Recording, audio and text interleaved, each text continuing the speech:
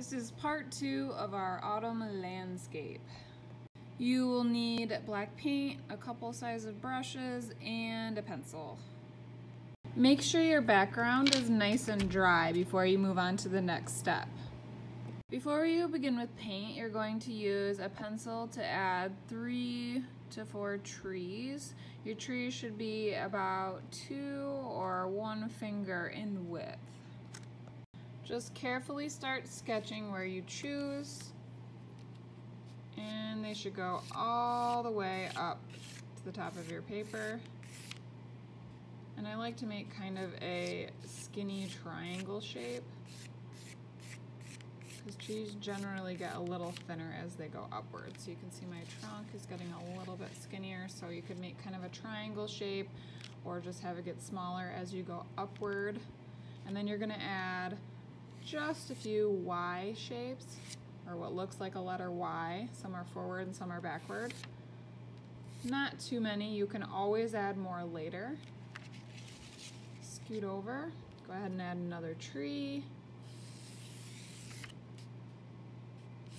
Make sure you're drawing lightly so that if you need to make some corrections, you can easily erase. After your trees are drawn in pencil, you're ready to start adding paint. Remember that when you add paint, that your lines are going to get thicker and slightly change, but that's okay. I prefer the black handle brushes for adding the paint because they have stiffer br bristles. These are smaller, but the bristles are much softer, so I think it's a little harder to control, but it really is up to you what you're most comfortable with. A little bit of paint goes a long ways. Careful not to drip it in places you don't want it, or you might have to turn that into an extra branch. Carefully add paint in between your pencil lines.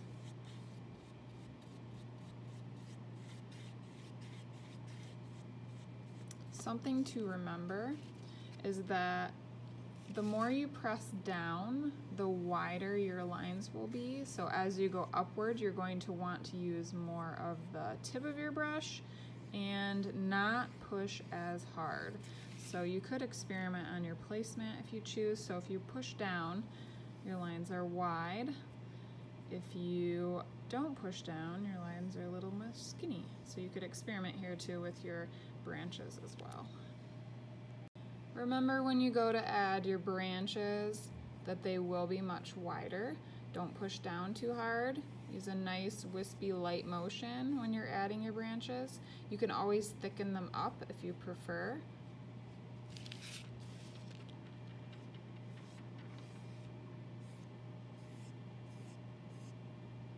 And if you decide that you would like more branches, you can always add more. If you need to use pencil first, that's okay. Watch out for that wet paint though.